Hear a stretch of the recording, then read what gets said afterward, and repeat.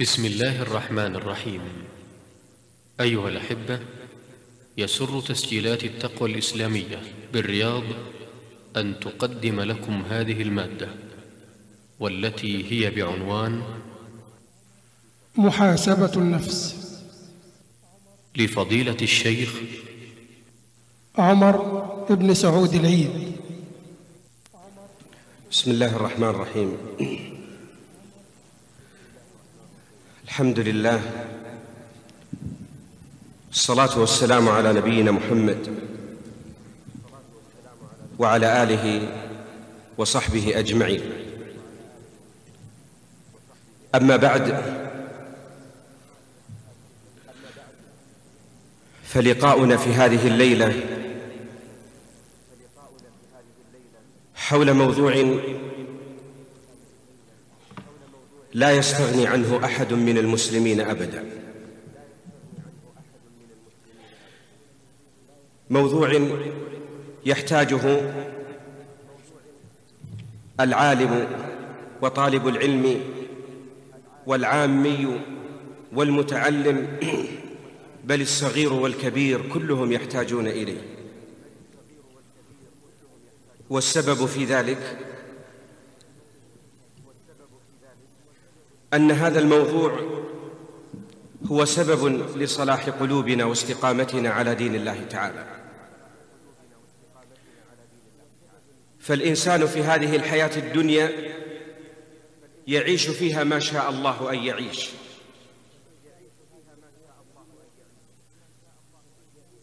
ويتنقل فيها ما شاء الله أن يتنقل.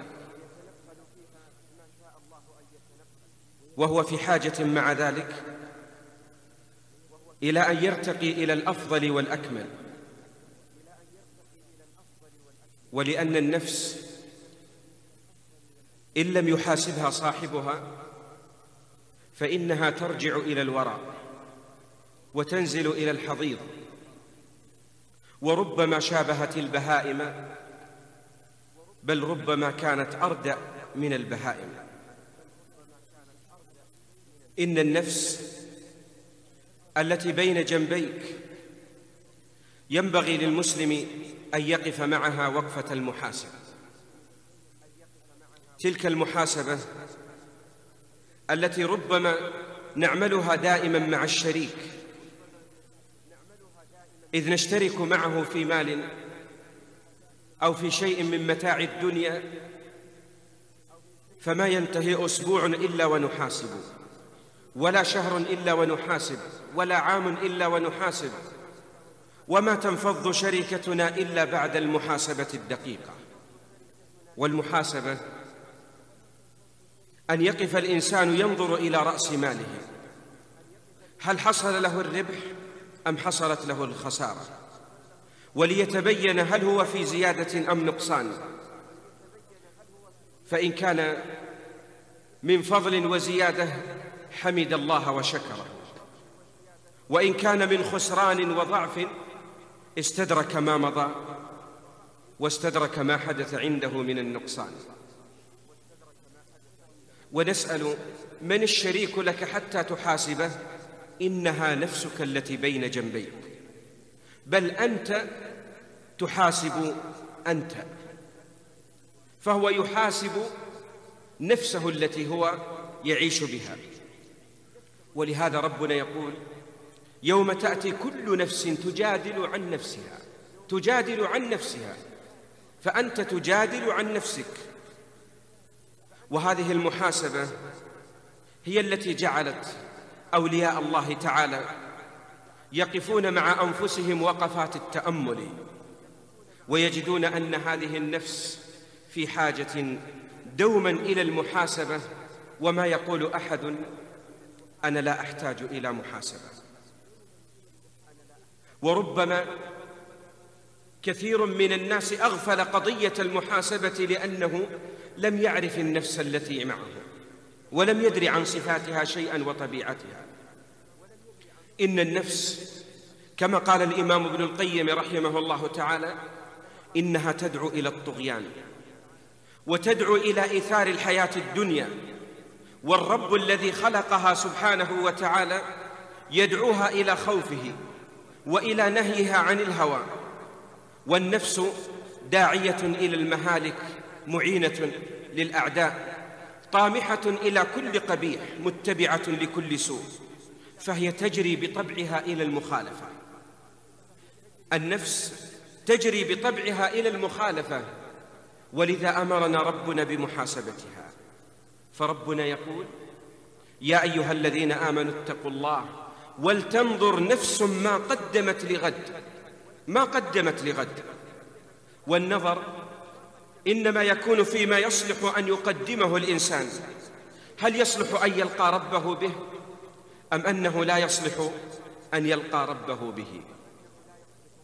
ويقول تعالى سبحانه وتعالى في هذه الآيات لينظر أحدكم ما قدم ليوم القيامة من الأعمال؟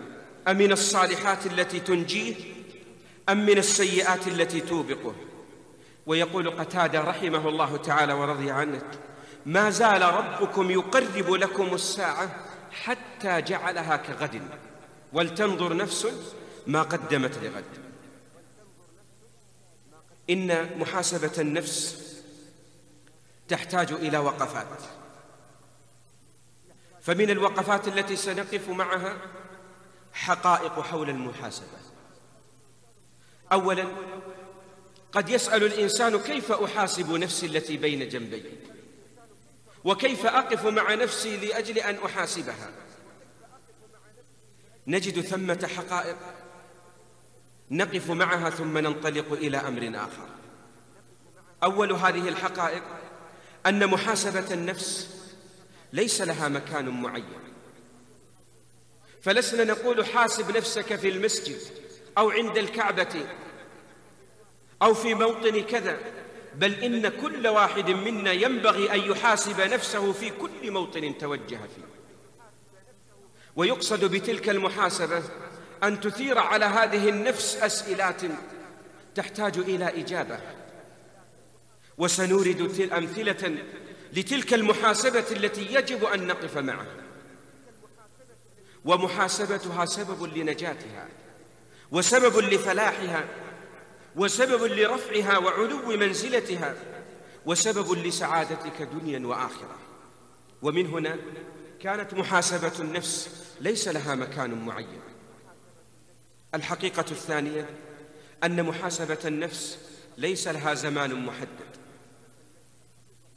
فقد أحاسب نفسي في الليل أو في النهار أو في الظهر أو في أي وقت أقف معها وقفة التأمل أردها إلى باريها وأرجعها إلى خالقها وأغرس فيها خوف الله تعالى ومراقبته في الأمور كلها صغيرها وكبيرها.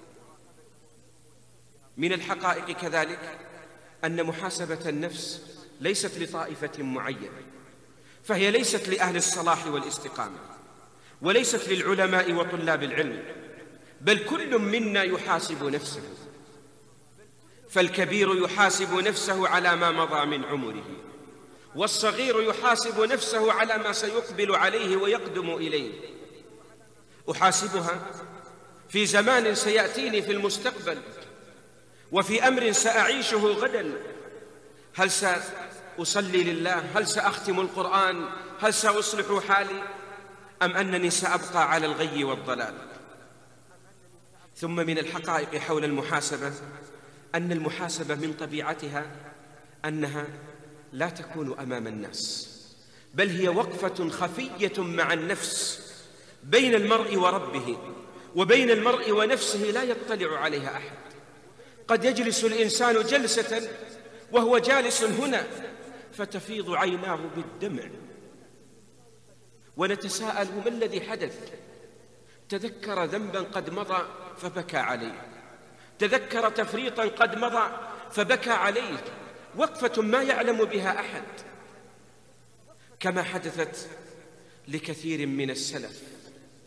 يقول القاسم بن محمد كنت مع ابن المبارك فعجبت من حاله. كنت مع ابن المبارك فعجبت من حاله شاع صيته في الناس وقبله الناس والناس يتوجهون إليه. زرافات ووحدانا يسألونه ويعجبون منه فقلت في نفسي بعد ملازمته يصلي كما نصلي ويصوم كما نصوم ويجاهد ونحن نجاهد ولم نجد مثل هذا القبول. وفي ليلة من الليالي قدم طعاما. لنا فانطفأ السراج. فبحثنا عنه ساعة لنصلحه قال فلما أولع السراج نظرت إليه وإذا عيناه تذرفان بالدمع. تذرفان بالدمع ما الذي حدث؟ فقلت له يا ابن المبارك ماذا ما خبرك؟ قال تذكرت الوقوف بين يدي الله. وتذكرت ظلمة القبر. فذرفت عيناي بالدمع. فقلت في نفسي بهذا ارتفع ابن المبارك. بمحاسبة النفس يقف الإنسان معها وقفة التأمل. ووقت ووقفة الإصلاح لها فإنها إذا تركت ظلت وانحرفت. وذهبت تهيم في كل واد شهوات وشبهات وفتن أحدقت بنا من كل جانب. ويصبح الإنسان بعدها ينطلق بقلبه يمنة ويسرى وما يرجع نفسه حق الرجوع. عجبا حين قال عمر بن الخطاب رضي الله عنه وأرضاه حاسبوا أنفسكم قبل أن تحاسبوا وزنوا أعمالكم قبل أن توزنوا توزنوا وزي وتزينوا للعرض الأكبر يومئذ تعرضون لا تخفى منكم خافية. يقول أنس بن مالك سمعت عمر بن الخطاب رضي الله عنه وأرضاه لما دخل حائطا. وما عنده أحد وقف مع نفسه يناديها.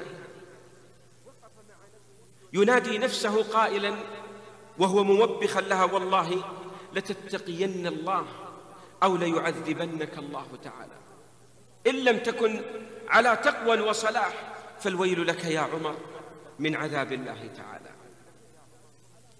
نجد سأذكر صورا من قضايا المحاسبة في حال السلف أمرها عجيب.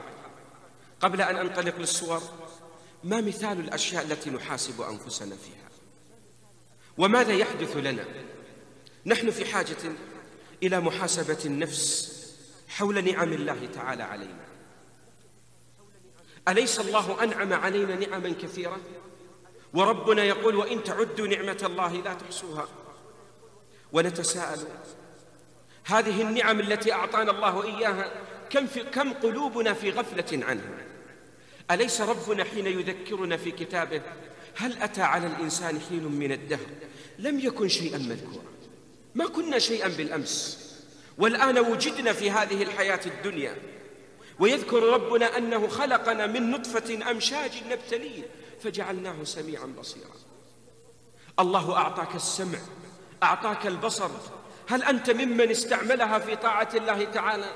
أم أنه ممن أطلق بصره في قنوات يبحث عن أمور محرمة يقول أنه يلذذ نفسه برؤيتها ويسعد بتلك وما علم الإنسان أنه سيحاسب على هذا البصر. أليس ربنا يقول ألم نجعل له عينين ولسانا وشفتين؟ إن السمع والبصر والفؤاد كل أولئك عنه. كان عنه مسؤولا. هل أعددنا لذلك السمع والبصر جوابا؟ حين نطلق أسماعنا في سماع الزمر والطرب. كم من المسلمين إذا أراد أن ينام بحث في المذياع عن أحسن أغنية يريد أن يختم نهاره بها وليله بها. ومن الناس من يسهر على النظر إلى الحرام فيضيع وقته فيما لا يستفيد منه. هذه نعم هل نحن صرفناها في طاعة الله؟ حاسبنا النفس وربما نجد لفتات عظيمة في الشرع تدعونا إلى قضية المحاسبة وإلى الوقوف معها وقفة التأمل حتى نستفيد دنيا وآخرة. نتساءل فنقول لماذا شرعت شرع لنا زيارة المرضى؟ أليس لنذكر نعمة الله تعالى علينا بالصحة؟ دخلت المستشفى فرأيت شخصا يئن وذاك مكسورة رجله وآخر في العناية وأنت ترفل في نعمة وعافية احمد الله الذي لم يصبك بشيء. قف مع النفس الله أعطاك هذه الحواس وأنعم الله عليك بها.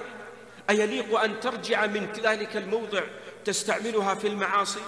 لا وربي يليق بك أن تقف مع هذه النعم محاسبا لنفسك. استعملها في مرضاة الله تعالى. نتساءل فنقول لماذا شرعت لنا زيارة المقابر؟ أليس لمحاسبة النفس؟ نحاسب النفس أولئك حيل بينهم وبين ما يشتهون. والله لو سئلوا ما تتمنون بعدها؟ ما تتمنون يا أصحاب القبور؟ قالوا نتمنى أن نخرج فنصلي لله ونسجد لله سجدة واحدة. أنت تخرج من المقبرة؟ ما حالك معه؟ هل أنت ممن تذكر الآخرة؟ هل أنت ممن رجع إلى ربه تائبا؟ أم أنك رجعت إلى غيك فما استفدت شيئا من ذلك؟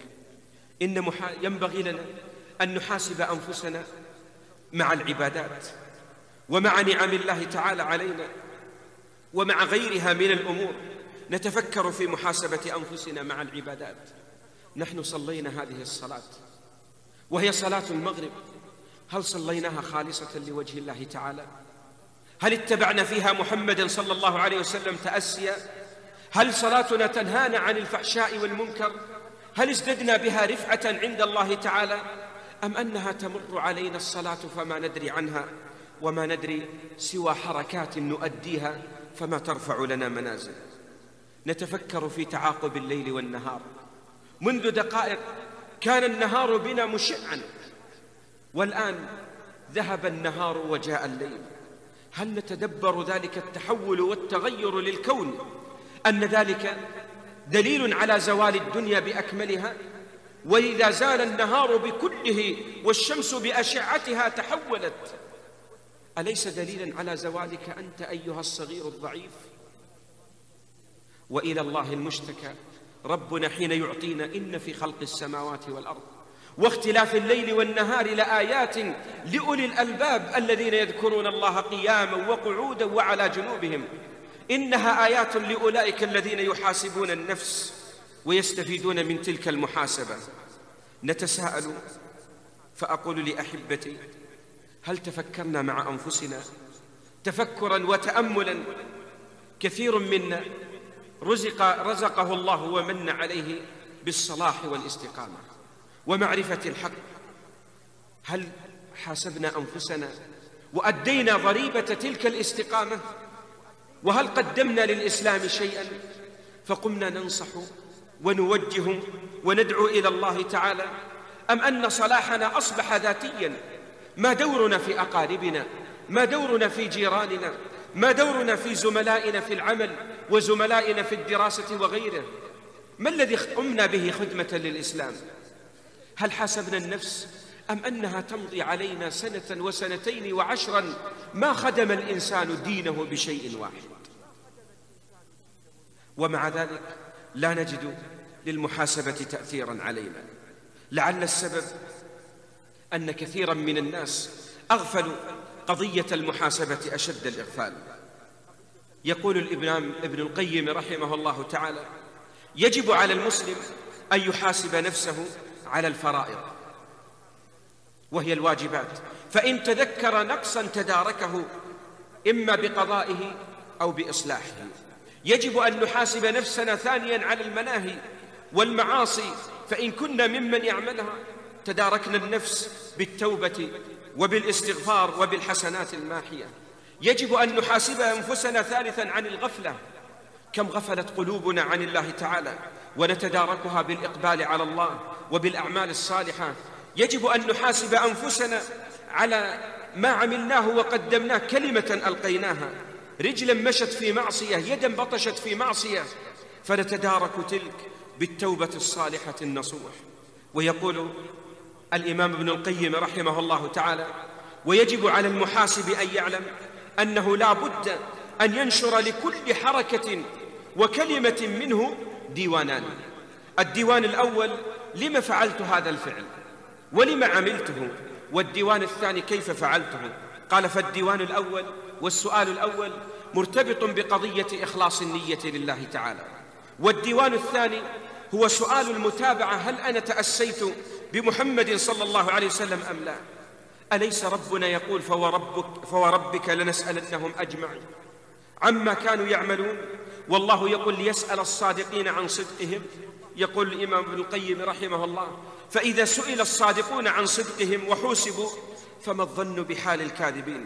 فإذا كان العبد مسؤولا ومحاسبا على كل شيء حتى على سمعه وبصره وقلبه كما قال ربنا إن السمع والبصر والفؤاد كل أولئك كان عنه مسؤولا. قال فهو حقيق أن يحاسب نفسه أن يحاسب نفسه قبل أن يناقش يوم الحساب. أقول لأحبتي أمور المحاسبة مواضيعها شتى ومتنوعة وكل جانب من جوانب حياتنا هو محاسبة. أتأمل موقفا لأحد السلف وعجبا من حاله. دخل بعض الصالحين إلى مكان ليغتسل فأخذ من الماء وهو لا يدري وكان الماء حارا فصب على رأسه فوجد حر النار حر الماء فذرفت عيناه بالدم. فقيل له قال تذكرت قوله تعالى يصب من فوق رؤوسهم الحميم. فذرفت عيناي بالدمع صببت ماء حارا فتأثرت. فتذكرت يوم القيامة حين يصب من فوق رؤوسهم الحميم. فكان لذلك أثرا على نفسه. ونجد المسلم يتذكر بتقلب الأحوال وتغيرها تقلبا عجيبا. عجبا لعمر بن عبد العزيز رحمه الله تعالى. رأى قوما لما دخل المقبرة وهذه حال كثير. دخل في جنازة. فإذا بقوم هربوا من الشمس وتوقوا الغبار ولثموا أنفسهم من غبار القبر فبكى عمر بن عبد العزيز. ثم أنشد يقول من كان حين تصيب الشمس جبهته أو الغبار يخاف الشين والشعث ويألف الظل كي تبقى بشاشته فسوف يسكن يوما راغما جثث جثثا يعني قبرا في ظل مقفرة غبراء مظلمة يطيل تحت الثرى في غمها اللبث تجهزي بجهاز تبلغين به يخاطب النفس تجهزي بجهاز تبلغين به. يا نفس قبل الردى لم تخلقي عبثا. ولهذا كان معاذ بن جبل رضي الله عنه يتأسف حين مات على ظمأ الهواجر. وهذا قد نقل عن غيره من كلام من السلف عجبا من حالهم. ثم أقول لأحبتي إن من طبيعة النفس أن جعل الله لها ثلاث صفات. نفس مطمئنة ونفس أمارة بالسوء ونفس كذلك لوامة ومرجعها إلى نفس واحدة. تلك صفات لهذه النفس. وهذا هو الصحيح وإن كان اختلف العلماء كما ذكر الإمام ابن القيم هل الإنسان مركب من نفوس ثلاثة أم أن هذه صفات لنفس واحدة؟ ورجح الإمام ابن القيم رحمه الله تعالى أنها نفس واحدة ولها ثلاث اعتبارات. فهي نفس مطمئنة وهي تلك نفوس أهل الإيمان. فإن النفس يقول ابن القيم إذا سكنت إلى الله تعالى واطمأنت بذكره وأنابت إليه واشتاقت إلى لقائه وأنست بقربه فهي النفس التي يقال لها عند الموت يا أيتها النفس المطمئنة ارجعي إلى ربك راضية مرضية. يقول ابن عباس رضي الله عنهما في تفسير هذه الآية إن النفس المطمئنة هي المصدقة. ويقول قتادة اطمأنت نفسه إلى ما وعد الله تعالى. وحقيقة الطمأنينة هي السكون والاستقرار. وبناء على ذلك تكون النفس المطمئنة هي التي سكنت إلى ربها وإلى طاعته وإلى أمره وذكره لم تسكن إلى سواه. فاطمأنت إلى محبته وعبوديته واطمأنت إلى أمره ونهيه وخبره. ولذلك رضيت بالله ربا وبالإسلام دينا وبمحمد صلى الله عليه وسلم نبيا ورسولا واطمأنت إلى قضائه وقدره. ونتساءل أنفسنا هذه أم أنها ليست تلك؟ فإن كانت تلك فاحمد الله تعالى على الخير وإن كانت بضدها فهي الأمارة بالسوء.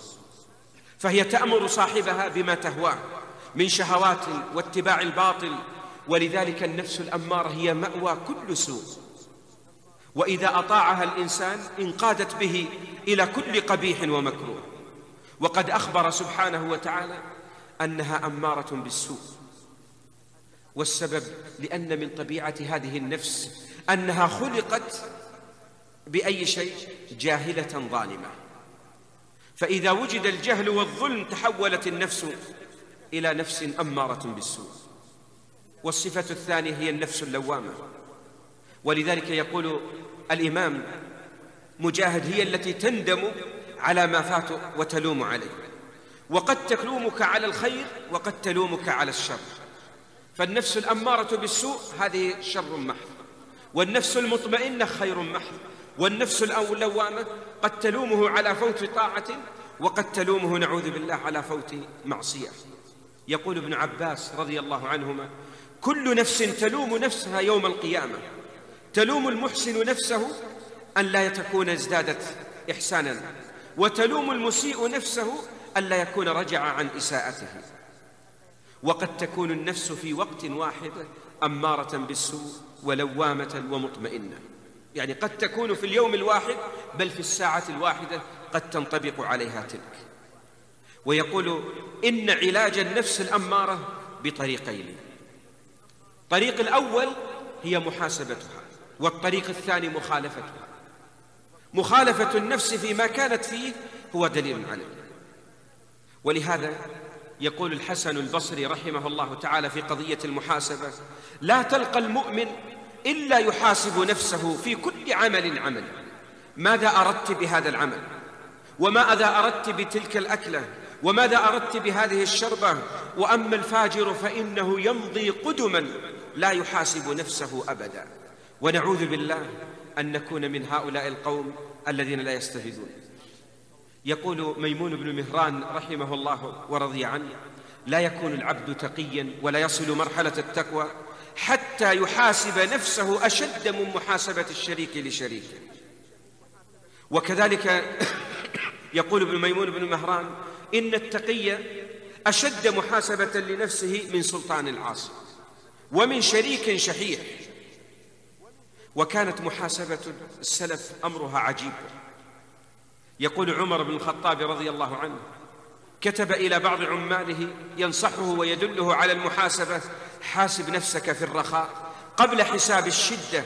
فإن من حاسب نفسه في الرخاء قبل حساب الشدة عاد أمره إلى الرضا وإلى الغبطة ومن ألهته حياته وشغلته وشغله هواه عن المحاسبة عاد أمره ونهايته إلى الحسرة وإلى الندامة.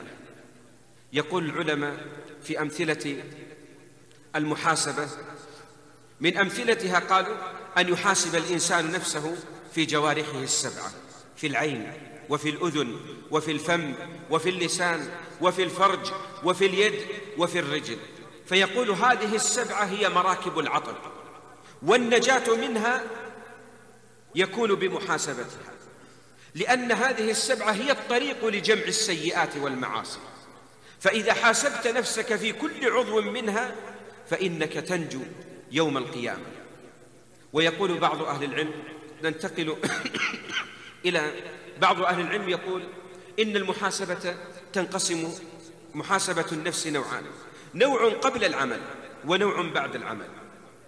فالنوع الذي قبل العمل أن يقف الإنسان مع همه وإرادته ولا يبادر إلى العمل إلا بعد رجحانه أن يعني أن رجحانه خير له من تركه. والأمر الثاني في محاسبته هل هو أخلص نيته لله فيه أم أنه عمله لغير وجه الله تعالى؟ لما جاءنا حديث النبي صلى الله عليه وسلم ثلاثة من أوائل من تسعر بهم النار. القارئ الذي أعطاه الله حسن صوت. وأصبح الناس حوله يلتفون هنا وهناك. وإنما قرأ لأجل أن يقال قارئ. وكان من أوائل من تسعر بهم النار يوم القيامة. فيعجب الناس يذكره الله بنعمته عليه جعله الله حافظا لكتابه. هذه نعمة من الله وأعطاه الله حسن صوت نعمة من الله وربط الناس والتفوا حوله نعمة من الله. فيذكره قال قرأت القرآن فيك. قال كذبت. إنما قرأت لأجل أن يقال قارئ فقد قيل ثم يلقى في النار. وذاك الرجل المجاهد وذاك الرجل الذي أنفق ماله. وكان ليقال جواد وليقال جريء فقد قيل وسعرت بهم النار. لم ذكرت لنا تلك؟ لنحاسب أنفسنا نحن. علنا ألا نكون من هؤلاء القوم. ولذلك يقول الحسن البصري رحمه الله تعالى رحم الله عبدا وقف عند همه فإن كان لله مضى وإن كان لغيره تأخر. همه وعزمه القلبي. يقول بعض السلف في شرح هذا الكلام إذا تحركت النفس لعمل من الأعمال وهم به العبد وقف المسلم معه وقفات. الأول هل هذا الذي سأقدم عليه أستطيعه أم لا؟ فإن لم يكن مقدورا لم يقدم عليه. وإن كان مقدورا له وقف معه الوقفة الثانية. هل فعله خير من تركه أم لا؟ فإن كان فعله خير من تركه فعله. وإن كان تركه أولى تركه. الوقفة الثالثة هل الباعث على العمل إخلاص النية لوجه الله أم أنه يريد جاها وثناء الخلق عليه؟ فإن كان خالصا لوجه الله أقدم وإن كانت نفسه تريد عرضا من الدنيا تأخر إلى غيره. قيل إن وروي في الأثر أن عمر بن الخطاب رضي الله عنه صعد على المنبر يوما ليخطب ثم نزل فما تكلم فقيل له ما لك يا عمر؟ قال أعجبتني نفسي فأردت أن أؤدبها فجلست وما أردت أن أحدث الناس بشيء. هذا يدل على المحاسبة. النوع الثاني من المحاسبة محاسبة بعد العمل ومحاسبتها بعد العمل بأمور. أولها محاسبتها على طاعة قصرت فيها. في حق الله تعالى. والطاعات التي هي حق لله يكون فيها ستة أمور. الأمر الأول إخلاص العمل لله تعالى. الثاني النصيحة لله تعالى. الثالث متابعة الرسول صلى الله عليه وسلم. الرابع شهود الإحسان مشهد الإحسان. حيث أن الله هو الذي هداك وهو الذي وفقك وهو الذي جعلك مستقيما وهو الذي رزقك علما وهو الذي أعانك على حفظ كتابه كله المنة من الله تعالى. ليس منك شيء. كذلك شهود منته سبحانه وشهود تقصير العبد في حداء حق الله تعالى فيه. ونقول من الأمور التي ينبغي أن نعلمها بعنصر آخر هناك أسباب لعدم المحاسبة. أسباب لعدم محاسبة النفس. من هذه الأسباب أولا إنها المعاصي التي رادت على قلوبنا. أسألكم أحبتي هل منا أحد وقف مع نفسه وقفة التأمل؟ كما وقف أحد السلف وقفة التأمل مع نفسه. فلما وقف وإذا عمره ستين سنة ثم قال لنفسه لو لم أذنب في كل يوم إلا ذنبا واحدا كنت قدمت على الله بأكثر من واحد وعشرين ألف ذنب يوم القيامة. فكيف بي أذنب في اليوم عشرات الذنوب؟ فبكى وبكى رضي الله عنه. نتساءل مع أنفسنا وقفنا معها. كم من معصية وقعت منا؟ وكم من زلة حدثت؟ وكم من نظرة محرمة؟ وكم وكم وقفنا مع النفس نقف معها وقفة التأمل. أم أن المعاصي رانت على القلوب؟ وحالت بيننا وبين بينها. وأتساءل أحبتي كم من الناس يسهرون إلى قريب الفجر؟ جلسات لبعض من الأخيار يسهرون على شوي أو استراحات أو لعب كرة أو غيره. ثم تضيع عليهم صلاة الفجر ما دروا عنها. ننطلق يوم الخميس ويوم الجمعة بعد الفجر أو في صلاة الفجر فما نجد في المسجد إلا قليلا من الناس. أين هم؟ أين نحن من محمد بن واسع رحمه الله ورضي عنه الذي حاسب نفسه محاسبة دقيقة حين قال صليت لله ستين سنة؟ ستين سنة ما فاتتني صلاة الجماعة فيها إلا مرتين. وإلى أن مات وهو يبكي على فقد تلك الصلاتين ويقول ووالله كأني ما صليت تلك الصلاتين. وقفة المحاسبة مع أناس يسهرون على قنوات يقلبون الطرف هنا وهناك يجمعون سيئات ومعاصي كيف يحاسبون أنفسهم هؤلاء؟ ونحاسب أنفسنا فنقول كم هي البيوت التي تخلو من الزمر والطرب؟ من أندر الناس بيوتا لا يوجد فيها زمر وطرب. يقول أحد السلف محاسبا إني لأذنب الذنب فأجده مباشرة في خلق زوجتي وفي دابتي. تلك المحاسبة الدقيقة التي توجب للمسلم أن يعلم أنه لا تفوته تكبيرة الإحرام إلا بذنب ولا تفوته صلاة الجماعة إلا بذنب. وما يتأخر عن مجلس إيمان وصلاح وتقوى إلا بذنب. كان بعض السلف يقول إذا حدث عندي شيء من التقصير في طاعة الله فتشت في يومي الذي أنا فيه فأجدني قد عصيت الله في هذا الأمر. قد يكون نظرة محرمة قد يكون مجلس غيبة ونميمة قد يكون وقد يكون فتش في اليوم نفسه. ستجد أن عندك ثمة تقصير. ولما قال النبي صلى الله عليه وسلم إن الرجل لا يذنب الذنب فيحرم به الرزق فلا يحدث له. من الوسائل التي جعلتنا لا نحاسب أنفسنا إنه التوسع في المباحات وفي الشهوات.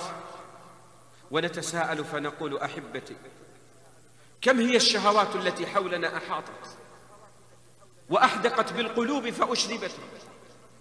كان الناس بالأمس لما كانت مساجدهم الطين وفرشهم الحصير وزادهم نوعا واحدا ونوعين كانت قلوبهم أصلح وأحسن من حال الناس الآن توسعت على الناس الدنيا فأشربت وأخلدت له. وأصبحنا أقولها كلمات حق. أصبحت محلات ضخمة للتحف. وما من بيت إلا ويوجد فيه دولابا توضع فيه الزهور يمنة ويسرى وتملت بيوتنا بأواني كثيرة. ويقدم الطعام بأصناف شتى. ربما لو قدم الغداء تعده سبعة أصناف ثمانية. والعشاء كذلك والإفطار أنواع شتى. ثم تجد الناس تقبل الإجازة على الناس فانطلق إلى محلات السفر والسياحة. وأوقات الإجازات هنا وهناك الناس ينطلقون شهوات أشربت القلوب. فجعلت النفس تشتاق وتطير يمنة ويسرة دون أن ترجع إلى باريها. وكم يحدث عند الناس من التغيير في رمضان وفي غيره.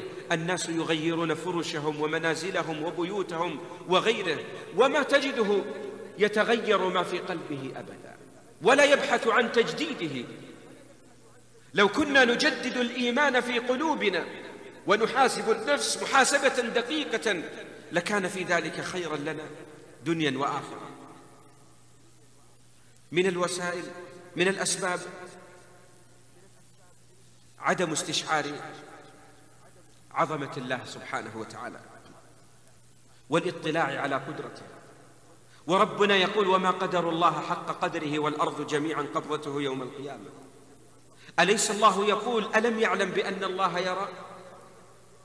إن الله كان عليكم رقيبا يعلم خائنة الأعين وما تخفي الصدور.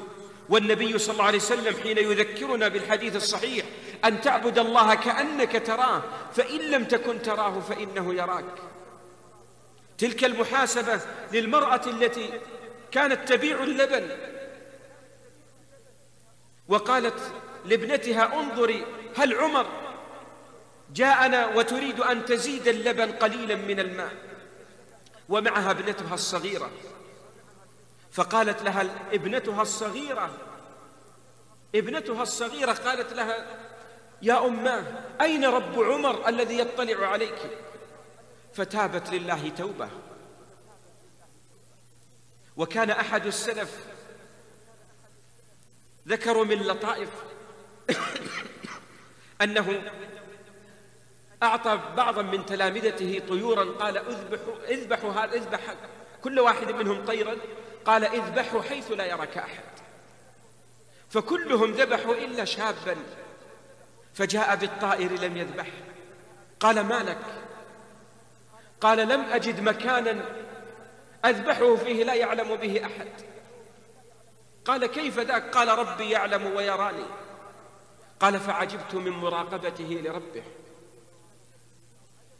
ولذلك عدم استشعار هذا الأمر كان سببا لعدم المحاسبة. من الأسباب تزكية النفس. وحسن الظن بها.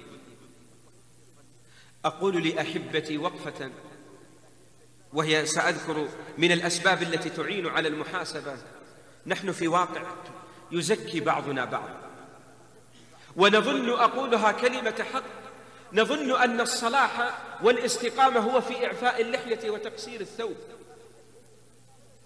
وأين نحن من سلفنا رحمهم الله تعالى؟ الذين كانوا يعملون الأعمال الكثيرة العظيمة ومع ذلك يبكون عند الوفاة. أبو هريرة وأبو الدرداء وجابر بن عبد الله وغيرهم ينزل بهم الأجل ويذكرون بالله تعالى وهم يبكون ويقال لهم عملتم وعملتم وجاهدتم مع رسول الله. فيقول والله ما أدري ما قدومي على الله تعالى. وأعوذ بالله من صبيحة يوم إلى النار.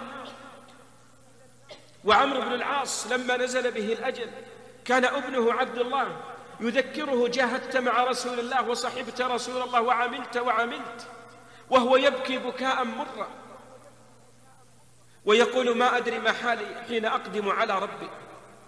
ما كانوا يزكون أنفسهم بل كانوا يزرون على هذه النفس ويرون أن ويرون أنها مهما قدمت من الأعمال لم تعمل شيئا. ومهما عمل من الطاعات كثرة فهي لم تقدم شيئا. هكذا كان سلفنا رحمهم الله تعالى. أما نحن فنجلس يزكي بعضنا بعضا. نحن على خير ونحن على استقامة ونحن كذا ونحن كذا ونحن كذا. حتى تضعف النفس فبدلا من أن ترتقي إلى العلو تجدها تنزل تدريجيا. وتضعف أمام تلك. أليس الله تعالى ذكر في قوله تعالى والذين يؤتون ما أتوا وقلوبهم وجلة. وقلوبهم وجلة. قالت عائشة يا رسول الله هو الرجل يزني ويسرق ويخاف؟ قال لا. الرجل يصلي ويصوم ويخاف ألا يقبل الله منه. هل نحن حين صلينا المغرب قلنا ربما لا تقبل صلاتنا؟ صلينا السنة. الله أعلم قبلت منا أم لا. حججنا بيت الله الحرام. هل قلنا نحن قبلت حجتنا أم لا؟ ربما لا تقبل. كان أحد السلف رؤيا يوم عرفة ينادي ينادي وهو من الخيار الصالحين. اللهم لا ترد الناس بسبب ذنوبي. يسأل ربه ألا يرد الخلق بسبب ذنوبه فهو معترف بتقصيره. ولم يرضى عن عمله ويعرف أنه مهما قدم من الأعمال لم, لم يقدم شيئا كثيرا. وكان لذلك أثرا عظيما على نفوسهم من الأمور التي جعلتنا لا نزكي النفس ولا نحاسبها عدم تذكر الآخرة. في أغلب أمورنا قلوبنا في غفلة وأجد عجبا من حالنا. كم من الناس إذا سمع موعظة خرج من المسجد وإذا سمع تذكيرا ما قبل. ويقول تلك مواعظ نحن نعرفها هي جنة ونار وما عند هذا الشيء شيء وما علم المسكين أن تلك المجالس هي رياض الجنة وتلك المجالس هي حياة القلوب وتلك المجالس ربما تستفيد منها كلمة تكون سببا لحياة قلبك ونجاتها. وهذا يعطي أن الناس في غفلة عن أمور الآخرة فجعلتهم لا يحاسبون النفس. وثمار المحاسبة كثيرة أذكر منها سريعا. أولا أنها تسهل على ثمار عدم المحاسبة ثمار عدم المحاسبة أنها تسهل على العبد الوقوع في الذنوب والمعاصي. وتجعل الإنسان يسهل عليه هذا الأمر. ونقول لأحبتي والله ما وقع أحد في ذنب إلا بسبب عدم محاسبة النفس.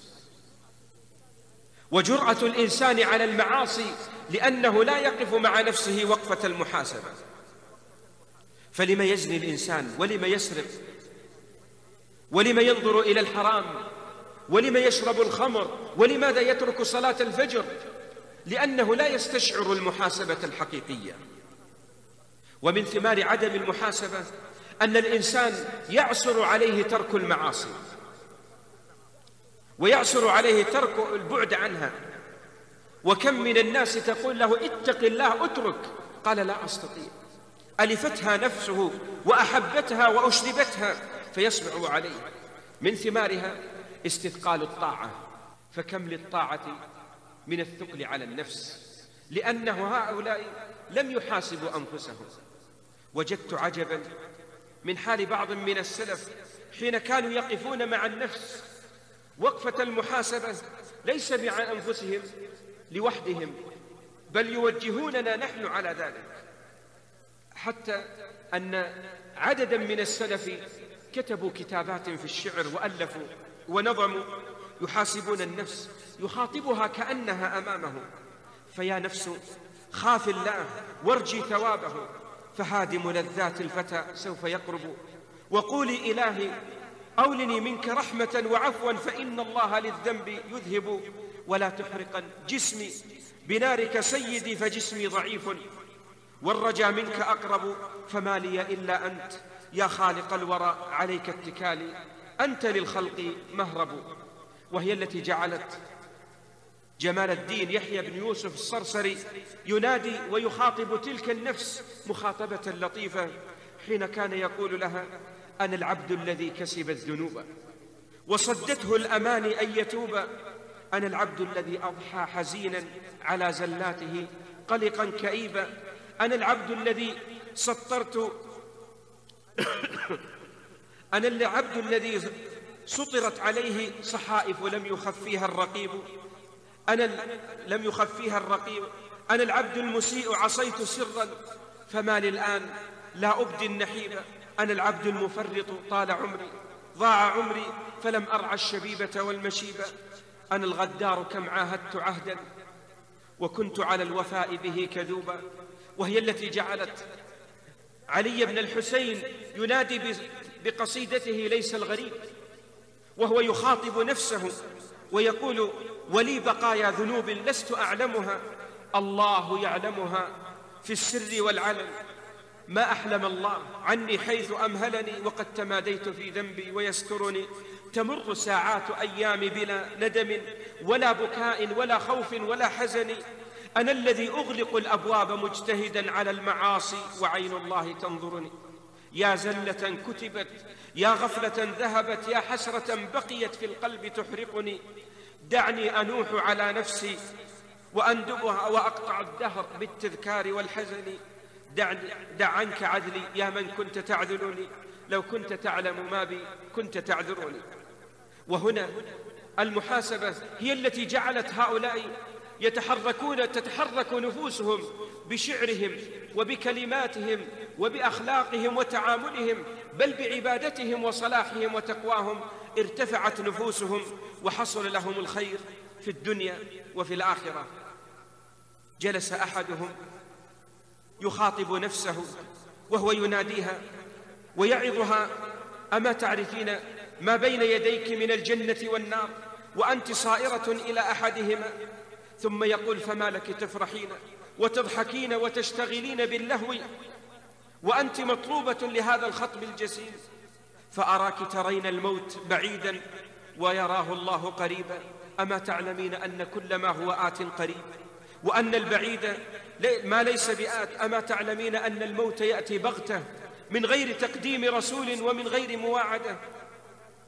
ثم ينادي تلك النفس قائلا لها يا ويحك يا ويحك يا نفس لو واجهك عبد من عبيدك بل أخ من إخوانك بما تكرهينه كيف كان غضبك عليه ومقتك؟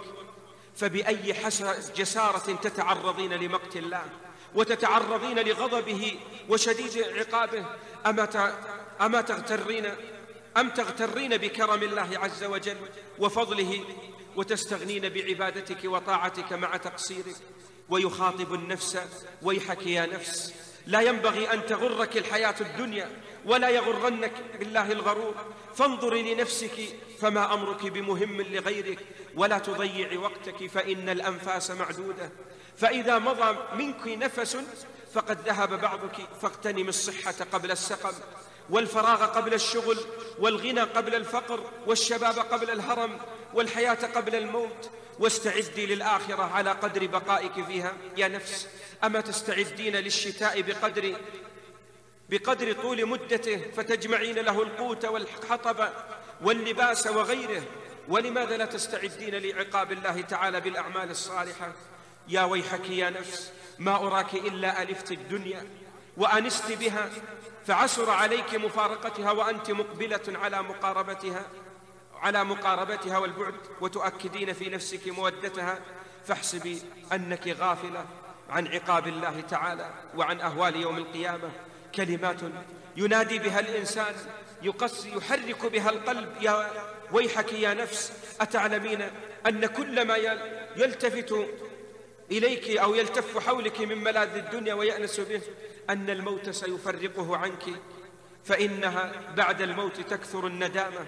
فاحرصي على العمل الصالح في هذه الأيام فقصارها أيام تذهب وتزول. هناك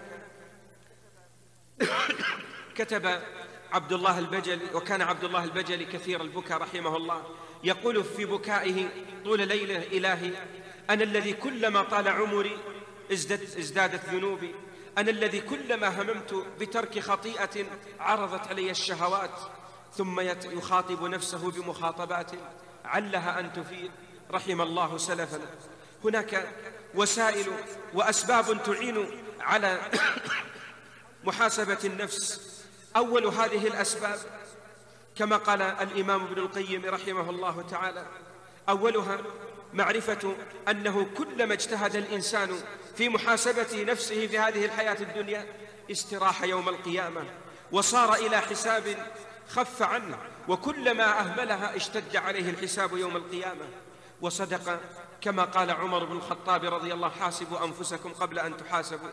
ثم من الأسباب كذلك أن يعرف المسلم أن ثمرة المحاسبة سكن الفردوس والنظر إلى وجه الله تعالى وأن خسارة المسلم بسبب عدم المحاسبة دخول النار والحجاب عن عن الله تعالى وبعده عن ربه.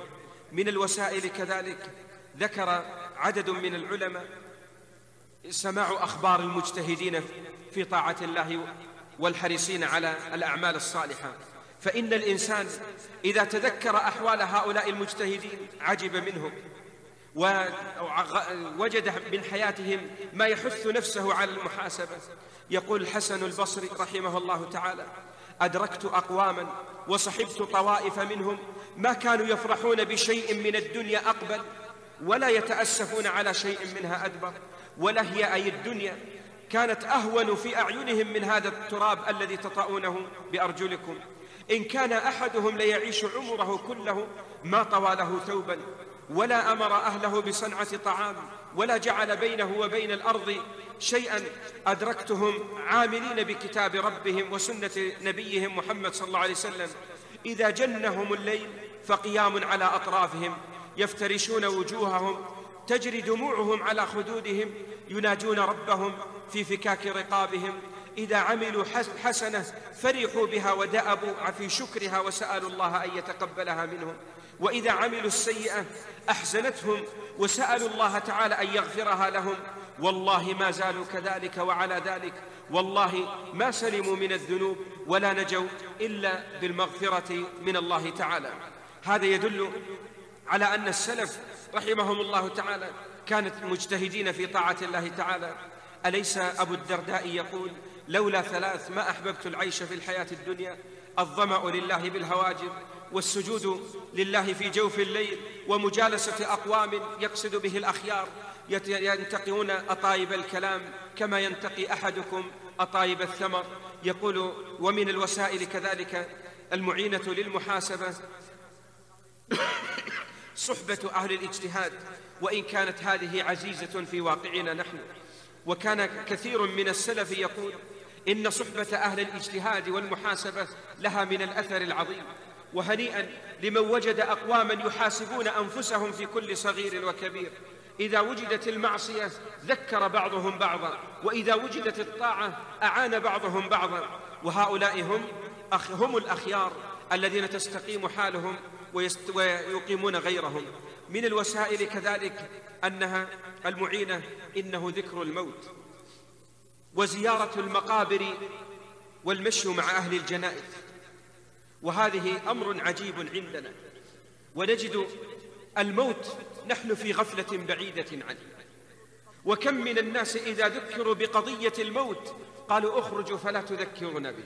قست القلوب. ونبينا صلى الله عليه وسلم كما في حديث أبي هريرة يقول أكثروا من ذكر هادم اللذات والحديث رواه الترمذي والنسائي وابن ماجه. كان مكحول الدمشقي إذا رأى جنازة قال ناداها قائلا اغدوا فإن رائحون إن هذه لموعظة بليغة وغفلة سريعة يذهب الأول والآخر. لا عقل لنا كيف لا نتدبر؟ قال الأعمش رحمه الله كنا نشهد الجنائز فلا ندري من نعزي لحزن الجميع. وأما نحن فإن نخرج مع جنازة القريب. وأحدنا نجد بعضهم يضاحك بعضا وبعضهم يسأل عن أحوال بعض في أمور الدنيا ومتاعها ومسكنها وغيره. ورسولنا يقول كفى بالموت واعظا. كفى بالموت واعظا من لم يتعظ بالموت فبأي شيء يتعظ. إذا كان الأعمش يقول كنا نشهد الجنائز ولا ندري من نعزي لحزن الجميع كلهم حين ينظرون إلى الجنازة وإلى أهلها يحاسبون النفس. كل واحد يقول ربما غدا أنا المحمول وأنا الغدا هو المدفون فيتذكر ذلك فيرجع من بعد الجنازة وعمله خير له. قال ثابت البناني رحمه الله كنا نشهد الجنائز فلا نرى إلا متقنعا باكيا متقنعا باكيا من, من هذا المشهد العظيم. والعجب من حال الناس الآن يحضرون الجنائز وبعضهم يضحك مع بعض ويلهون ويتذكر بعضهم بعضا أمور الدنيا. وأحسن أحوال الناس في هذا الوقت على الجنائز يبكون على الميت. ولو عقلوا حق العقل لبكوا على أنفسهم لا على الميت لأن الموت انتقال لهذا وحزن على فراق الميت. لكن موت القلوب ألا نتدبر وألا نستفيد بعد رؤيتنا لهذا لهذا الموت. جاءت امرأة إلى عائشة رضي الله عنها تشكو قسوة قلبها. فقالت لها أكثري من ذكر الموت يرق قلبك. وكانت مجالس المو... السلف تعمر بذكر الموت والاستعداد بالعمل الصالح.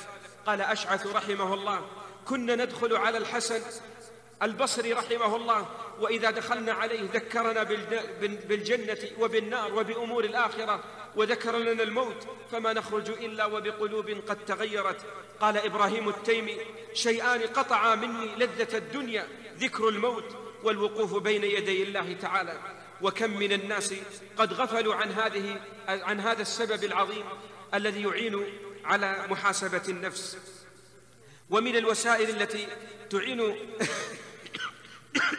على محاسبة النفس دراسة سيرة النبي صلى الله عليه وسلم. فإن محمدا صلى الله عليه وسلم إذا درسنا سيرته أمره عجيب. فما ندري ما نحدث عن حاله. كان يقوم حتى تتفطر قدماه. ولما قيل له في ذلك قال أفلا أكون عبدا شكورا؟ كان النبي صلى الله عليه وسلم يجلس مع الصحابة وصلى بهم يوما ولما انتهى من صلاته انطلق مسرعا. فعجب الصحابة له ورجع. قالوا ما لك يا رسول الله؟ قال تذكرت في بيتي تبرا يعني ذهبا. فأردت أن أنفقه فلا يبقى عندي منه شيء. وكان النبي صلى الله عليه وسلم في محاسبة النفس أمرا عجيبا ذكرنا به. أليس رسولنا صلى الله عليه وسلم ذكر لنا من السبعة الذين يظلهم الله في ظله؟ يوم لا ظل إلا ظله. قال رجل ذكر الله خاليا ففاضت عيناه. جلس تذكر تذكر وحاسب نفسه. إما على ذنب قد فرط فيه وإما على طاعة قد عملها وفيها شيء من التقصير وإما تذكر عظمة الله تعالى أو تذكر الجنة والنار ففاضت عيناه بالدمع. رجل جلس للمحاسبة فاستفاد. أليس من السبعة؟ ذلك الرجل الذي حاسب نفسه محاسبة دقيقة فكانت من نتيجتها تصدق بصدقة أخفاها حتى لا تعلم شماله ما تنفق يمينه تلك المحاسبة الدقيقة لهذه النفس من أين أخذناها؟ من سنة النبي صلى الله عليه وسلم. فنحن في حاجة إلى أن نتعرف على عبادته وقراءته للقرآن وقيامه لليل وإنفاقه في سبيل الله.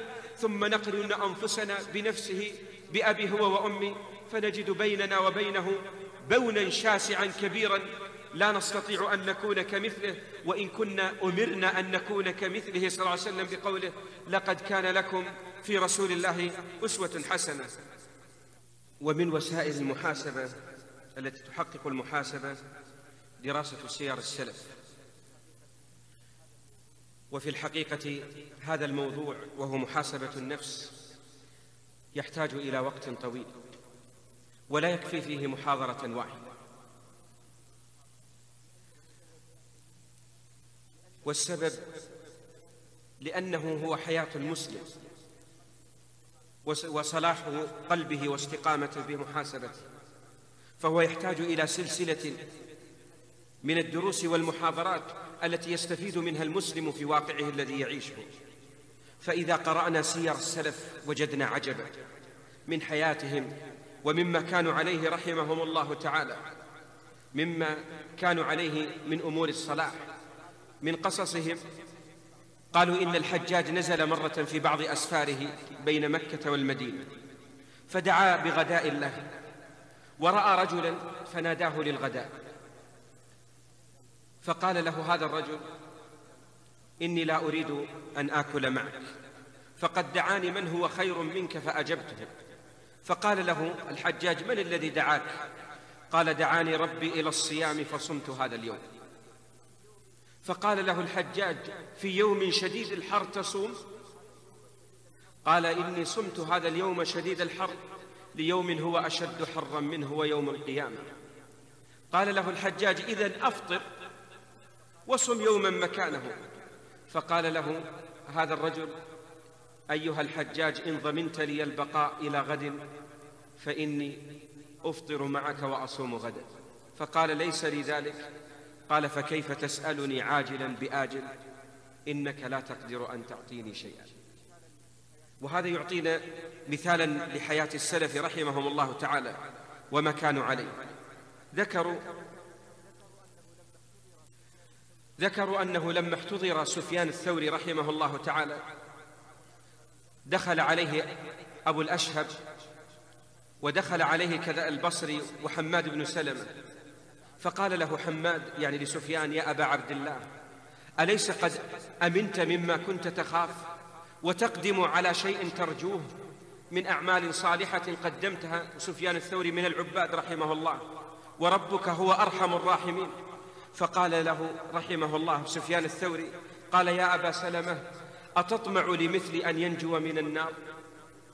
أتطمع لمثل أن ينجو من النار؟ قالوا إي والله إني لأرجو لك ذلك. فبكى سفيان رحمه الله تعالى. فكانوا يجرون على أنفسهم رحمهم الله تعالى. ويقول بكر بن عبد الله المزني لما نظرت إلى أهل عرفات ظننت أنهم قد غفر لهم إلا أنا. فإذا كان بكر بن عبد الله المزني رحمه الله من كبار السلف يقول في ذلك الموقف العظيم الذي يباهي الله به عباده يقول ظننت أن الله يغفر للجميع إلا أنا. فكانوا مهما قدموا من الأعمال ما كانوا يدلون بها على ربهم بل كانوا يقدمونها رغبة في الأجر والثواب ويخشون من عدم قبولها. قال المروذي لأحمد بن حنبل رحمه الله كيف أصبحت؟ قال كيف أصبح كيف أصبح من ربه يناديه بالفرائض ونبيه يطالبه بالسنة وعياله ينادونه بالنفقة والنفس تناديه بالشهوات والشيطان بأداء المعاصي. وملك الموت يراقب تلك الروح وملكان يكتبان عليه. يكتبان عليه ما يريد أن يقدمه. إن المحاسبة النفس لها ثمار عظيمة على العبد. بل نقول إن أعظم ثمارها التوبة إلى الله تعالى من الذنوب والمعاصي. وما من إنسان يقلع عن ذنب إلا وقد وقف وقفة محاسبة مع النفس. والذنب الذي يكون من الناس إما تفريط في صلاة وعبادة فيقف الإنسان مع نفسه يعاهدها ويقهرها ويلزمها إلى متى أترك صلاة الفجر؟ إلى متى وأنا أفرط في طاعة الله تعالى؟ إلى متى وأنا لا أحرص على الأعمال الصالحة؟ إلى متى وأنا أترك الأمور الواجبة علي؟ فقد يأتيني الأجل وأنا على المعصية فيختم لي بخاتمة السوء. ولذلك أذكر قصصا من قضية وقفات لطيفة ولعلي ذكرتها في بعض من المحاضرات السابقة. من الوقفات كان أحد الأحبة وعجبت من حاله. كان قبل استقامته مطربا. وكان يجيد ضرب العود. حتى أنه في قريته مشهورا يحيي لهم لياليهم بالزمر والطرب. وكان يضرب العود قائما وجالسا وعلى جنب. ويحسنه. يقول في يوم من الأيام فتح المذياع وإذا بالقرآن يتلى الذين يذكرون الله قياما وقعودا وعلى جنوبهم ويتفكرون في خلق السماوات والأرض. ربنا ما خلقت هذا باطلا سبحانك فقنا عذاب النار. يقول فوقفت هذه الآية في نفسي كالصاعقة المجلجلة. قلت في نفسي شتان بيني وبين هؤلاء. بيني وبين هؤلاء. أنا أضرب العود قائما وقاعدا وعلى جنب. وأقوام يذكرون الله قياما وقعودا وعلى جنوبهم. ثم أعلنت توبتي. وسبحان الله رجع بعد توبته حافظا لكتاب الله إماما لمسجد حسن الصوت. وقفة محاسبة هي لحظات قد يوقظ الله فيها القلب فيستقيم على طاعة الله تعالى. ولعلي ذكرت لكم قصة الشاب الذي كان صاحب مخدرات. وفي يوم من الأيام أهدى إليه أحد الأحبة شريطا عن الجنة والنار. ويقول كنت, كنت ليلي كله على المعاصي ونهاري في الظلمات نائما. وما كنت أصلي. وسبحان الله يرجع في, في ليلة من الليالي مظلمة. وإذا معه الشريك يقول ففتحته أسمع وكان مدخلا يقول سمعت وإذا آيات وأولعت سجارتي. ثم جاء وارده في النفس كيف تسمع القرآن والذكر وأنت تدخن؟ يقول ألقيت سجارتي. ثم جاء الشيطان قائلا أنت تدخن عند أبيك وأمك. فما يضرك هو شريك؟ يقول فأولعت سجارتي. وخمس سجائر هذه يطفيها وهذه يولعها. في آخر الأمر يقول قررت أن أستمع ولا, أس ولا أدخن. يقول وهو في ظلمة الليل راجعا قبل الفجر بساعة أو ساعتين وإذا بأسمع عن الجنة والنار وآيات كالصواعق على قلبي ثم درفت عيناي بالدمع وخاطبت نفسي كان اسمه سعود. خاطبت نفسي وحاسبتها فقلت إلى أي الطريقين أنت تتوجه؟ وإلى أي المسارين؟ عرفت طريق الجنة وعرفت طريق النار وأعمالك الآن تؤهلك إلى أين؟ وكانت النتيجة بكيت بكاء مرا فأعلنت توبتي. رجعت آخر الليل ودخلت المنزل ولم أرد أن أدخل مع الباب الرسمي. دخلت من الخلف مخافة أن, أن يراني أبي أو تراني أمي وعلي البكاء. وجلست إلى أن أذن الفجر ما نامت عيناي. أحاسب النفس وأقول لها إلى كم الغفلة؟ إلى كم؟ إلى متى وترك الصلاة؟ إلى متى والمعصية؟ إلى متى وعدم بر الوالدين؟ وما إن سمعت المؤذن ينادي حي على الصلاة الصلاة خير من النوم. إلا وتوضأت وانطلقت. وإذا بوالدي ينظر إلى أين يا سعود ذرفت عيناي بالدمع. قلت له إني تبت إلى الله. هذه ثمرة من ثمار المحاسبة التي يستفيد منها الإنسان. وما من توبة أحد إلا بعد محاسبة. لكن إلى الله المشتكى. لا نحاسب أنفسنا في تفريطنا ولا نحاسب أنفسنا في معاصينا ولا نحاسب أنفسنا في استقامتنا ولا نحاسب أنفسنا في واجبنا تجاه ديننا ودعوتنا ونقل الخير إلى الناس وتبصيرهم ودلالتهم إلى الخير. نبقى نرضى عن النفس وفي التفريط ثم نرجع إلى الوراء وثمار المحاسبة كثيرة. فمن ثمارها أن المسلم يطلع على عيوب نفسه وعلى تفريطه وتقصيره. يقول الإمام ابن القيم رحمه الله وفي محاسبة النفس عدة مصالح منها الاطلاع على عيوبها. ومن لم يطلع على عيب نفسه لم يمكنه إزالته. فإذا اطلع الإنسان على عيب نفسه وعيبها مقتها في ذات الله تعالى.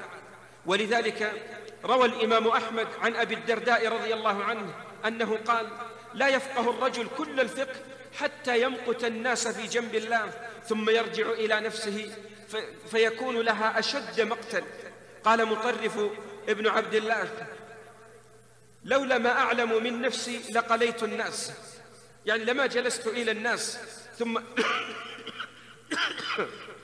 ثم يقول أحد السلف يقول والله لو كان للذنوب رائحة ما جلس إلي أحد أبدا ما جلس إلي أحد. وكهذا يدل على أنهم كانوا يمقتون أنفسهم ويعرفون عيوبها. يقول يونس بن, عب بن عبيد إني لأجد مئة مئة خصلة من خصال الخير والله ما أعلم أني في نفسي منها شيء. ونتساءل كم أعمال الخير أمامنا فهل هي كلها عندنا؟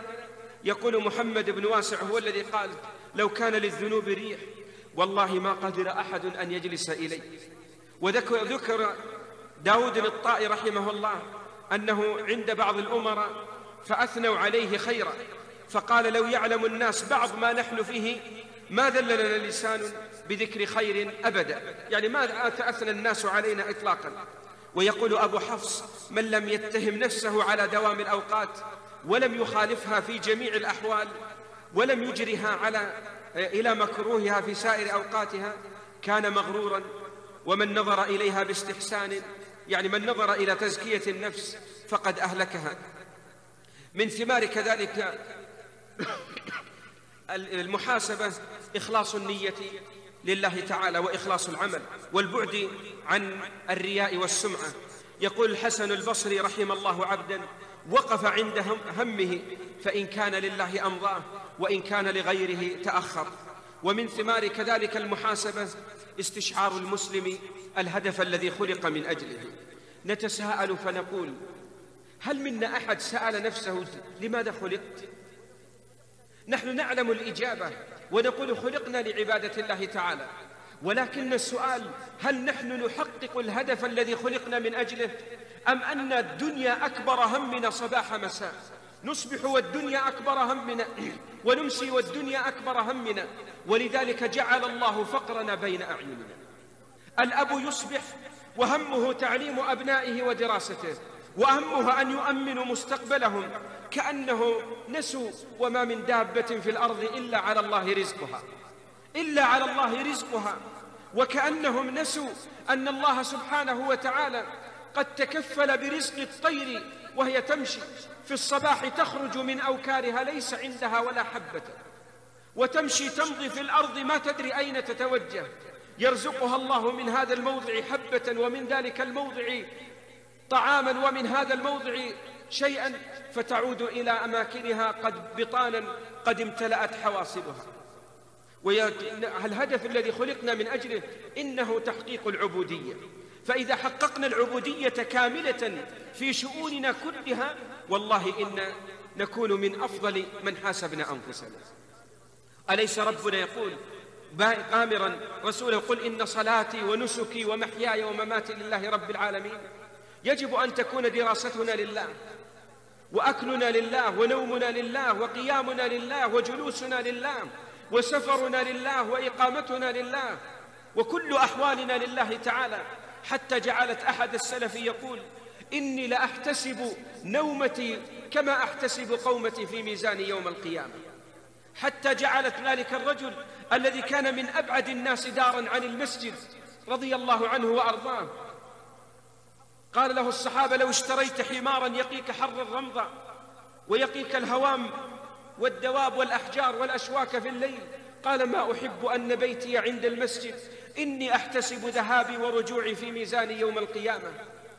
نتساءل مع أنفسنا هل نحن حين نأتي إلى درس أو كلمة أو محاضرة أو علم وغيره نستشعر في مشينا أننا نمشي في طريق الجنة وفي رجوعنا نستشعر أننا نمشي في طريق الجنة ونحاسب أنفسنا أننا نجري من ورائه الأجور ونخلص نيتنا لله تعالى.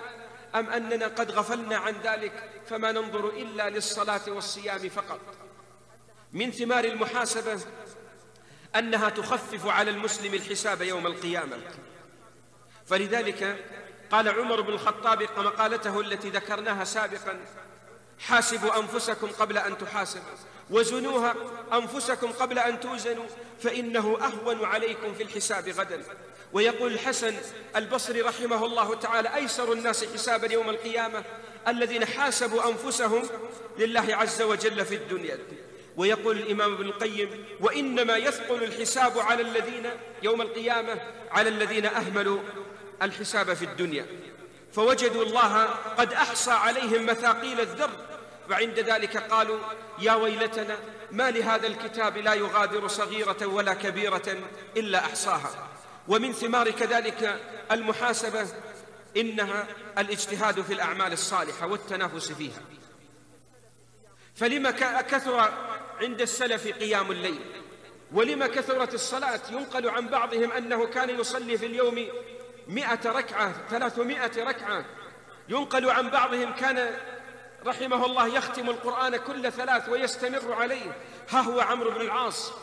ويقول يقول الإمام ابن كثير رحمه الله ثبت عن ثلاثة من الصحابة أنهم كانوا يختمون القرآن كل ثلاثة أيام إلى أن ماتوا.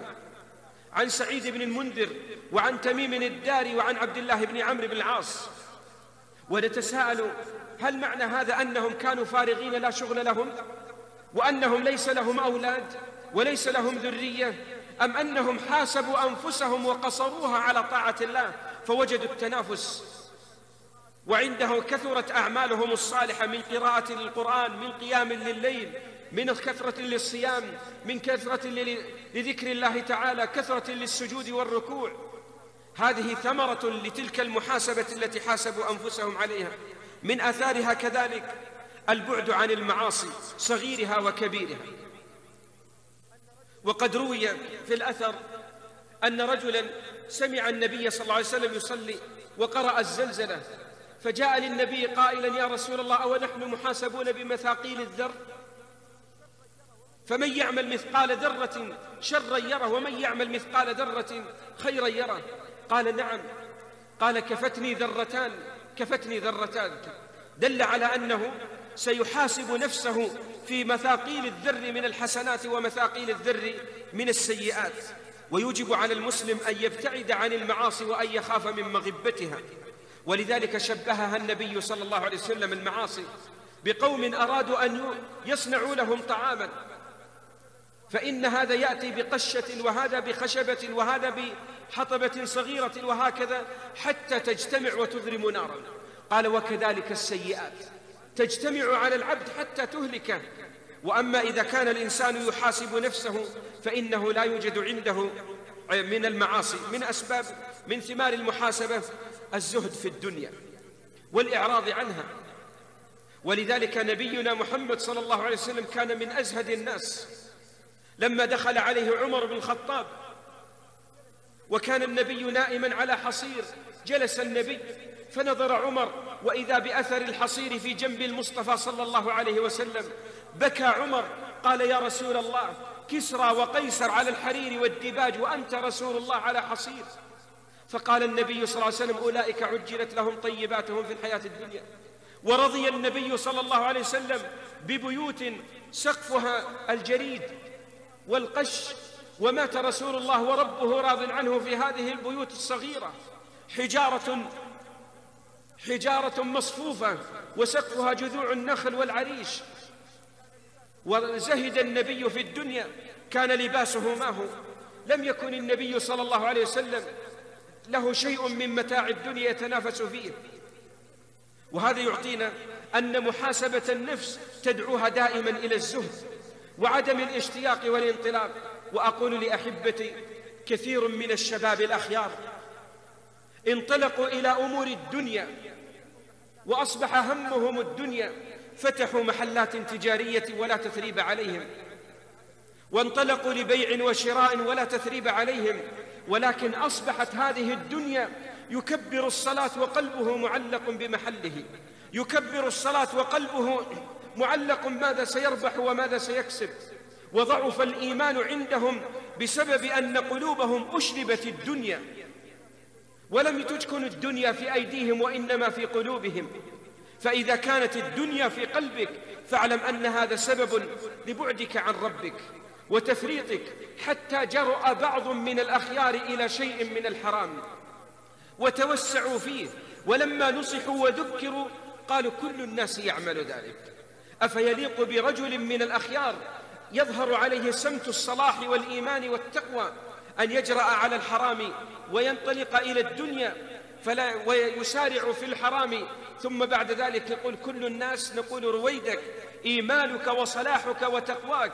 لا يوازيه شيء. أليس النبي صلى الله عليه وسلم قال ركعة الفجر خير من الدنيا وما فيها؟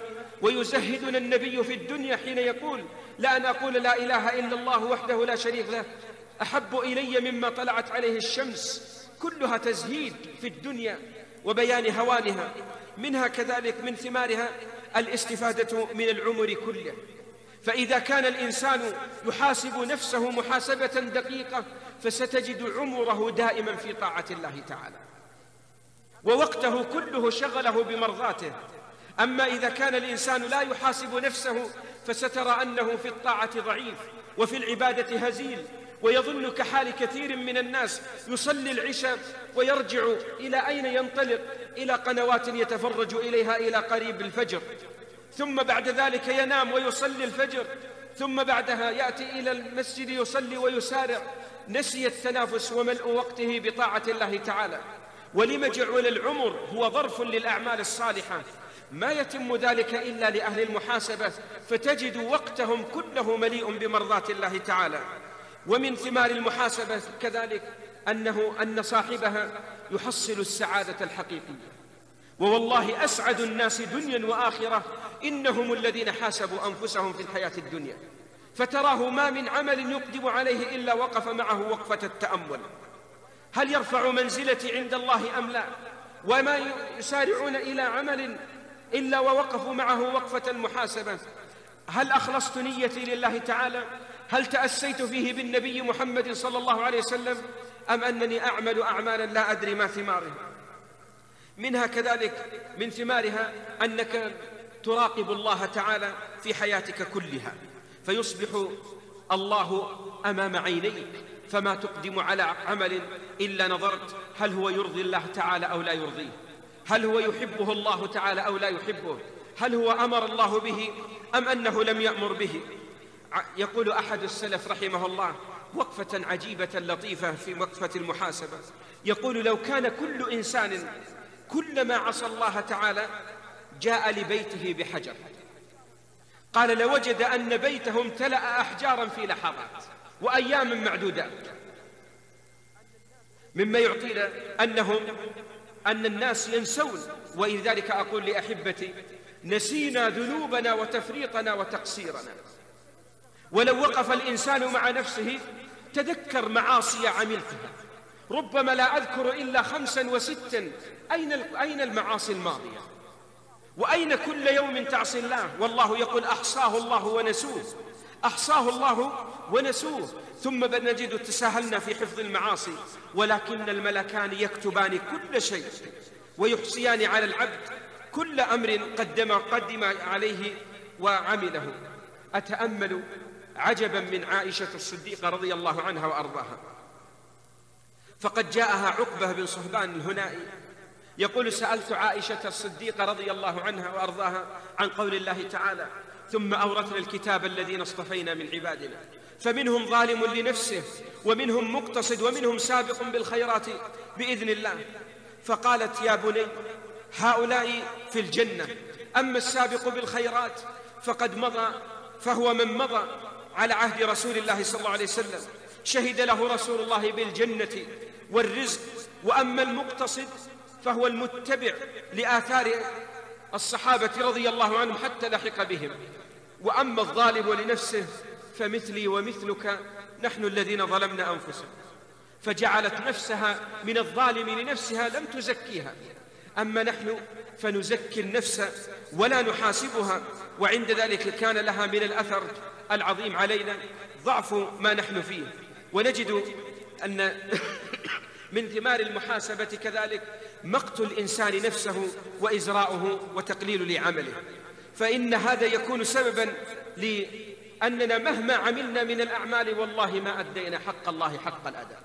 ومهما اجتهدنا في الأعمال الصالحة ما أدينا شكر الله. فإذا كان محمد صلى الله عليه وسلم يقول أفلا أكون عبدا شكورا يقف حتى تتفطر قدماه ومع ذلك يقول أفلا أكون عبدا شكورا مبينا شكر نعمة الله تعالى عليه. فنعم الله علينا تترى بالليل والنهار. فلا أقل من أن نستعمل هذه النعم في طاعة الله تعالى. ولا أقل من أن نستعمل الجوارح في مرضات الله تعالى. علنا أن ننجو يوم القيامة فيكون ذلك ثمرة عظيمة لنا دنيا وآخرة سعادتنا في الدنيا ثم نجاتنا يوم القيامة. نقول لأحبتي هنا أمرا أنبه عليه. بعض من نقل عن بعض من السلف أمورا في محاسبة النفس ولكنها ليست صحيحة. وإن كانت ذكرها بعض من السلف ذكروا أن بعضهم وقف مع نفسه وقفة المتأمل. اشتهت نفسه معصية. قال فجاء بمصباح ووضع إصبعه على النار حتى اشتوت ثم قال لنفسه يا نفس إن لم تستطيعي النار على أصبعك فكيف تستطيعي إذا أدخلت إلى النار كليا فنقول هذه المحاسبة لم نؤمر بها وليست من هدي نبينا صلى الله عليه وسلم. ونقل أن بعضهم كان يمشي في الطريق فمرت جارية حسنة المنظر فأطلق طرفه فيها قال فلطم عينه حتى فقها وقال هذا جزاؤك. فنقول هذا لم يكن من هدي سلفنا في المحاسبة بل هذا من فعل الصوفية وليس من فعل السلف في شيء. والمسلم الواجب عليه أن يقف مع المحاسبة كما وقف سلفنا والإنسان يحاسب نفسه على جميع عمره يوما ويوما وكذلك ساعة وساعة وعلى أعضائه ظاهرة وباطنة يستفيد منها ليوجهها لطاعة الله تعالى حتى يصلح حاله ويصلح في مآله فيستفيد من هذه المحاسبة. وهنا أسئلات كثيرة لا بد أن نقف معها. وقفة المحاسبة في نعم الله تعالى علينا في أوامر الله تعالى ماذا عملنا بها في المعاصي هل نحن انتهينا في حقوق الناس علينا في دعوة إلى الله هل قمنا بها؟ إلى غيره أمور كثيرة. نقف مع النفس وكأنك تخاطبها لتستفيد. لعلك تنجو يوم القيامة فتسعد في الدنيا وتسعد في الآخرة. أنقلكم إلى كتب كتبت في المحاسبة. الإمام ابن القيم رحمه الله تعالى تكلم عليها بكلام بديع في كتابه إغاثة اللهفان. وتكلم كذلك عليها بكلام عظيم في كتابه مدارج السالكين في المجلد الأول. وكذلك تكلم عليها الإمام الغزالي في كتابه إحياء علوم الدين وإن كان عليه ملاحظات في ذكر قصصا لا تصح ولا ينبغي الاستفادة منها. كما ذكرت لكم شيئا من القصص الذي لطم عينه أو غيره فجاء بمجاهدات لا دليل عليها. وكذلك ابن قدامة في مختصر منهاج القاصدين. ونجد كثير من كتب السلف تكلموا عن محاسبة النفس نظرا لأن النفس تحتاج إلى شيء من التربية ومن التوجيه. فأصبحت المحاسبة هي صلاح النفس وثمرة المحاسبة استقامتها النفس على دين الله تعالى. والتوبة تعتبر من أعظم ثمار المحاسبة. فإن كنت أخي المسلم ممن تترك صلاة الفجر فعد إلى الله تعالى بالمحافظة عليها. إن كنت ممن يجلس للنظر إلى الحرام فتب إلى الله وارجع. إن كنت ممن يملأ وقته بالغيبة والنميمة ونهش أعراض الناس فارجع إلى ربك رجعة صادقة تنجو في الدنيا وفي الآخرة. أسأل الله بأسمائه الحسنى وصفاته العلى أن يجعلنا وإياكم من الذين يحاسبون أنفسهم ويستفيدوا من تلك المحاسبة يوم القيامة. اللهم إنا نسألك أن ترينا عيوب أنفسنا حتى نسعدها ونرجع إليك. اللهم إنا نسألك أن تقصر أنفسنا على طاعتك. اللهم استعملنا في مرضاتك. اللهم اجعلنا ممن يبتعد عن المعاصي صغيرها وكبيرها. اللهم إنا نسألك الثبات على دينك إلى أن نلقاك. ونصلي ونسلم على نبينا محمد وعلى آله وصحبه.